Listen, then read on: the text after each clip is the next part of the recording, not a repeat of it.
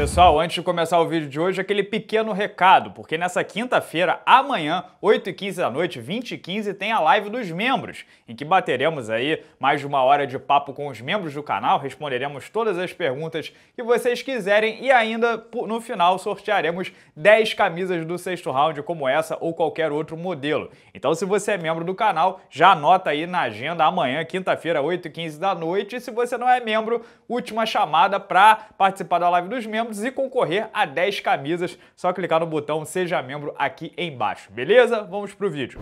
A vida do ex-campeão dos leves Habib Nurmagomedov definitivamente seguiu seu rumo, seguiu em frente. Não que desde o dia 24 de outubro de 2020, quando bateu o Justin Gate em Abu Dhabi e anunciou a aposentadoria, o russo em algum momento titubeou ou ensaiou uma volta. Para ser justo, de lá para cá, em 100% das vezes, a resposta foi exatamente não tem volta. Mas como ainda é jovem, né, tem 33 anos e aposentadoria no MMA nunca é algo escrito em pedra, nós da imprensa continuamos perguntando e estipulando. Só que o tempo passou, o cara se manteve firme e as perguntas sobre aposentadoria foram minguando. Hoje em dia acredito que nem entrem mais em pauta, até porque já nos acostumamos com o professor, o treinador Habib, que, diga-se de passagem, segue invicto nesse cargo. A partir de 2022 também teremos mais contato com o promotor de eventos Habib, que anunciou essa semana que vai internacionalizar o Eagles MMA, né, evento do qual é dono. Esperem então, além de vários cards na Rússia, principalmente em Moscou e no Daguestão, vários cards nos Estados Unidos. O primeiro, inclusive, vai ser já em janeiro, em Miami. E como o cara tá montado na grana, tem prestígio e por isso atrai bons investidores investidores, o plano é ambicioso. Cerca de 50 contratações serão feitas e os anúncios já começam numa coletiva de imprensa que será realizada no dia 15 de dezembro. Aliás, ontem o Kevin Lee, que ainda tem 29 anos e chegou a disputar o cinturão interino dos leves, foi cortado pelo UFC. O CEO da Eagles MMA, o Rizam Magomedov, né, que é sócio do Ali Abdelaziz e ajuda a empresariar e tomar conta da carreira do pessoal da Rússia, especialmente do Cáucaso, mandou até a seguinte mensagem para o repórter repórter Damon Martin, O Eagles FC está pronto para ser a nova casa do Kevin Lee. E não tem jeito. Hoje, qual é a forma mais eficiente do Habib promover a expansão do seu evento? Botando a cara, dando entrevista, aparecendo, claro, afinal, a imagem do Habib é maior do que a do Eagles MMA. E vamos lá, quer gostemos ou não, se o Habib não tiver autoridade ou pelo menos o direito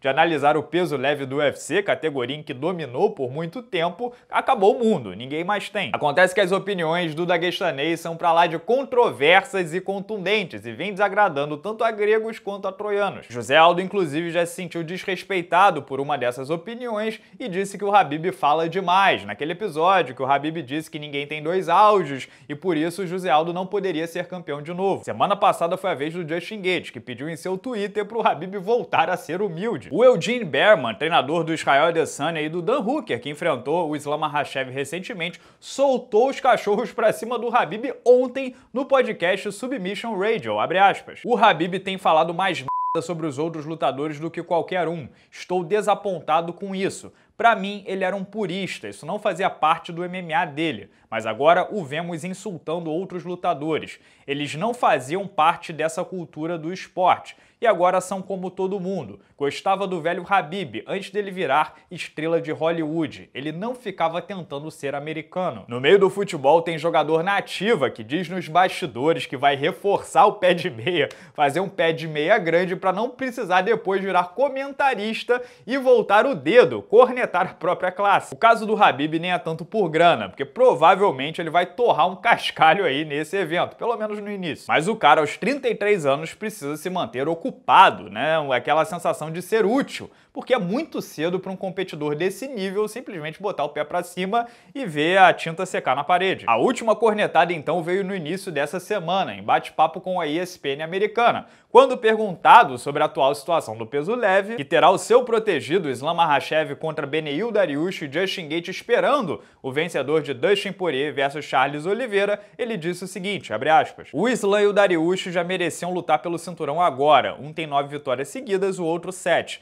Dariush e Islam, esses dois caras são melhores do que o Justin e o Poirier, na minha opinião. Em primeiro lugar, ignorou completamente a existência do brasileiro Charles do Bronx, o atual campeão linear da categoria. Aliás, isso nem é novidade, porque pro Habib o Charles é um pedestre ali, né? Já disse publicamente que o Islam Makhachev, o Justin Gate e o Dustin Poirier o venceriam. Para não cometer injustiça, na última previsão ele nem foi tão taxativo assim. Marcou 60% Poirier, 40% Charles. Em segundo lugar, o mais sensacional dessa declaração é que na ânsia de dar o pitaco, e sejamos justos, promover o amigo Islam Makhachev, o Habib acabou diminuindo o próprio legado. Pensem comigo, se o Dariush e o Makhachev são os dois melhores do mundo e ele nunca lutou com o Charles do Bronx, que é o atual número 1, um, isso significa que as suas duas maiores vitórias, tecnicamente falando, sobre o Justin Gage e o Dustin Poirier, foram sobre o quinto e o sexto melhores até 70 quilos. Em outras palavras, se tiver certo, ele nunca se testou nem vai se testar contra os três melhores além dele,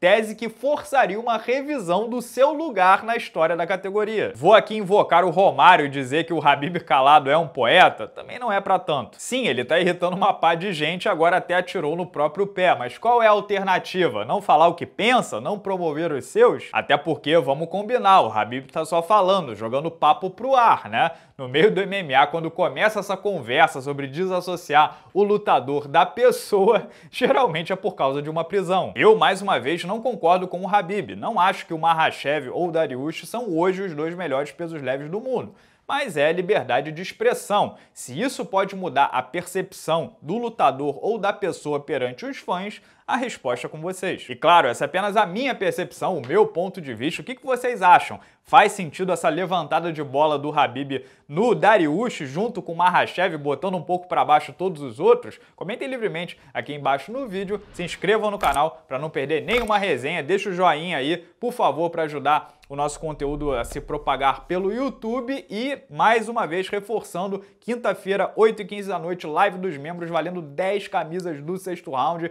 É a última chamada para você concorrer a tanta camisa assim antes do processo de venda que vem um pouco mais para frente. É só clicar no link, é, no, no, no botãozinho Seja Membro aqui embaixo, beleza? Não percam também a resenha de ontem. Falei sobre Alex Pereira, que será a figurinha carimbada frequente no octógono do UFC em 2022 e para entender é só clicar no link aqui do lado. Grande abraço a todos, muito obrigado pela audiência de sempre e até a próxima.